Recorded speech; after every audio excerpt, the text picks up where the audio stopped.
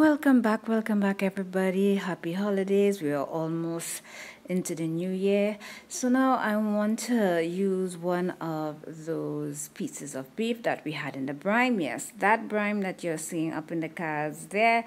Check out that for how we made this brine. Now let's get into today's recipe now I'm only going to do one and I had this soaking for 72 hours. Yes, 72 hours. When I tell you every bite of this was delicious, oh my gosh, it was really full of flavor. I would and the rest of the beef I left it for at least four days before I did anything else.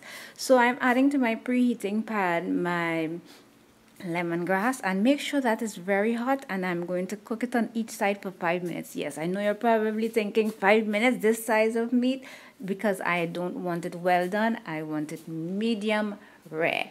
And this is the first time I am going to attempt to eat something like this or taste something like this because I have always been like, oh my gosh, no, how could people eat this? Now I understand why people eat this type of meat because listen to me, this thing was super soft and delicious, full of flavor. As I had that that meat soaking in that brine for all those days, guys, you need to check that out. And also don't forget to check out my previous recipe again, how I make that brine and all of the other recipes that you're seeing on your screen right now again. Happy holidays. Thanks for watching. Bye.